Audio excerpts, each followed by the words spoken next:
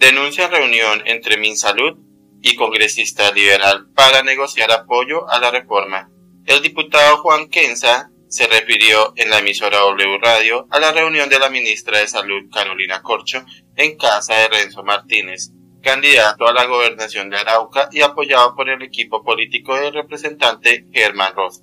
La emisora W Radio conoció que la ministra de Salud Carolina Corcho estuvo visitando el departamento de Arauca la semana pasada en el marco de una audiencia con la Comisión Séptima de la Cámara de Representantes con el fin de socializar la reforma a la salud.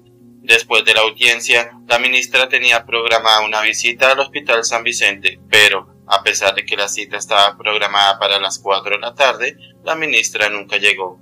A donde sí llegó la ministra Corcho fue a una reunión con Germán Rosso, representante a la Cámara por el Partido Liberal y su grupo político. El encuentro se llevó a cabo en la Casa de la Confianza, el lugar donde Eliana Galeano, aspirante a la alcaldía de Arauca, realiza sus reuniones políticas. En la reunión también estuvo presente Renzo Martínez, quien aspira a la gobernación del departamento, y David Talero, quien va por la alcaldía de Saravena.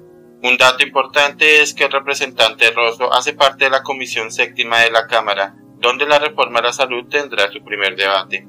Por lo anterior, la reunión resulta de especial relevancia debido a que el Partido Liberal recientemente anunció que no apoyará el proyecto, mientras que el gobierno nacional decidió buscar los votos saltándose a las cabezas de los partidos. En diálogo con la emisora W Radio de Colombia, el diputado Juan Kenza brindó detalles de este encuentro y afirmó que está más que convencido de que en esta reunión se pudo haber pactado el apoyo del representante liberal a cambio del apoyo del gobierno a los candidatos de su grupo político en las elecciones regionales de octubre del 2023. Soy diputado por el Partido Liberal y la directriz de César Gaviria a los miembros de la colectividad fue apartarse de la reforma a la salud.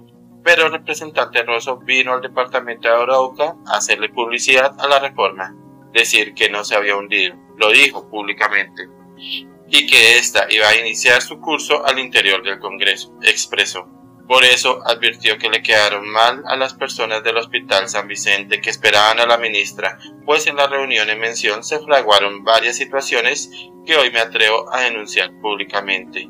El diputado también aseguró que en el encuentro se hizo un llamado a Carlos Santamaría Nieto, quien es el delegado departamental de la Contraloría General de la República, era el secretario privado del exgobernador Ricardo Alvarado, hoy preso, pero desde el 23 de febrero lo nombraron delegado.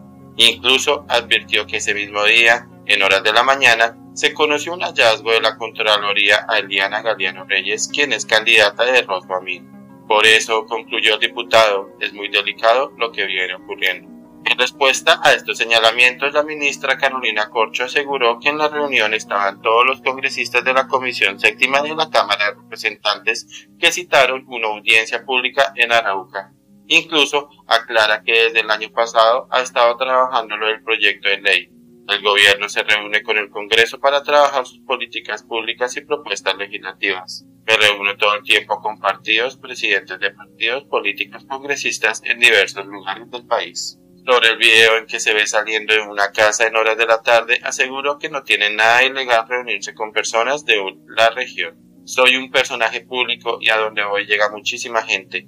Ellos son miembros de la Comisión Séptima de la Cámara, donde se inicia discusión de una de las reformas del gobierno y se cumple asistencia a proposiciones aprobadas por el Congreso para ir a audiencias públicas a donde asisten la ciudadanía y autoridades políticas locales, expresó. En cuanto a la reunión con una candidata a la alcaldía, la jefe de cartera de salud afirmó, no hubo actos de campaña ni nada de eso. Entiendo que aún no hay candidatos inscritos a nada en el país.